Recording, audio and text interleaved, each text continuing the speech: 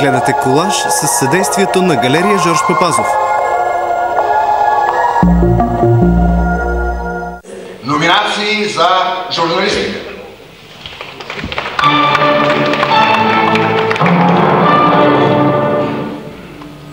Мария Карабочева, номинирана за приложението във вестник Марица Най-важно е здравето. Номиниран за отразяване на обществения и културен живот в проявите от есенния салон на изкуствата, нощта на музеите и галериите и Пловдив чете.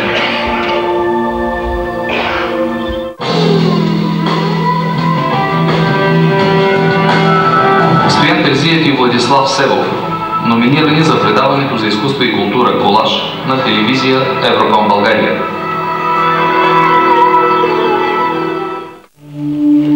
Веселина Божилова, номинирана за статии, вебсайт и книга по обществено значима тема – борбата с наркотиците. Носителя на наградата Пловдив за журналистика са Стоян Терзиев и Савов.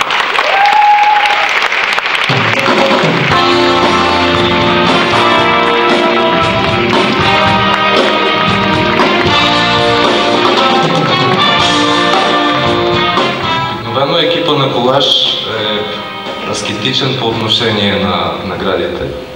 В смисъл, че се разминава с тях, но този път бяхме забелязани и оценени по достоинство. Аз за тази награда а, съм чувал от Сашо Сикулов, мой приятел и колега, а той ги има две такива статуетки, да казва, че тя носи повече ядове и дертове, отколкото доволство. Но те първа на наш гръб ще изпробваме това. Сега мога да кажа, че радостта е огромна. Благодаря на целия екип на Колаж, освен Влади Севов, Георги Манолов камера, Емил Иванов монтаж. Благодаря на телевизия Евроком.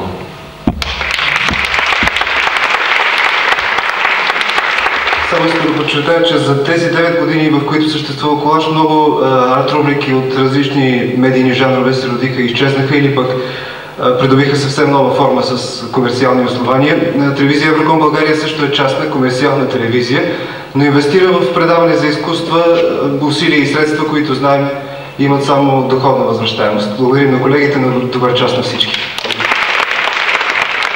Честито! Как се чувствате с наградата в ръцете си? Вълнуващо още повече, че всички номинирани и наградени тази вечер са участвали в колаш и ние за първи път се чувстваме в една редица с тях толкова директно. Обикновено сме отсреща и не се виждаме, т.е. не се експонираме. Тази награда вярвам, че е заслужена за колаш. А, конкуренцията в раздела за журналистика я устойностява още повече. Влади преди малко имаше предвид, че ние обикновено работим на твоето място, което си задаваме въпроси и държим микрофона. И очакваме смислени отговори. А, наистина, аз и на сцената подчертах, че до сега този същия екип е бил малко аскетичен по отношение на наградите, в смисъл, че се разминава с тях, а плюс това същия този екип е браконьерствал в раздели като музика, документално кино. Има какво да изброим. Екипа Колаш не е само телевизионен екип за направа на предаването Колаш.